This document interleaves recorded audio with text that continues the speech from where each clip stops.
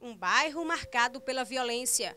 O São José está entre os bairros da capital que registram alto número de homicídios em comparação com outros da orla da cidade. Apesar de estar localizado numa região nobre, o bairro é periférico e a comunidade constantemente é surpreendida por operações policiais e crimes. Enquanto muitos moradores optam em assistir às cenas de violência parados, um grupo de mulheres, há seis meses, descruzou os braços e decidiu trabalhar na contramão dessa realidade. É o grupo Mulheres de Mãos Dadas. O projeto ajuda cerca de 50 moradores da comunidade, desde crianças até idosos, com oficinas e cursos.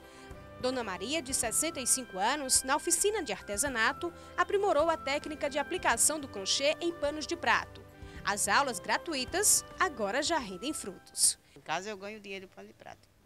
Dá para tirar um dinheirinho bom? É, dá para ajudar na despesa. Aos nove anos, esta outra Maria também descobriu a magia do artesanato. Eu faço pulseira, cortina e Estou aprendendo crochê. Além de artesanato, aqui também são oferecidas oficinas de produção de detergente, cursos de leitura e violão. Eu gostava muito de aula de violão, só que eu não tinha condição. Aí, como apareceu aqui, aí eu comecei a fazer. E ainda reforço escolar para 25 crianças com idades entre 5 e 12 anos. Eu observei que na escola eu melhorei bastante. Passei a ler melhor, escrever melhor.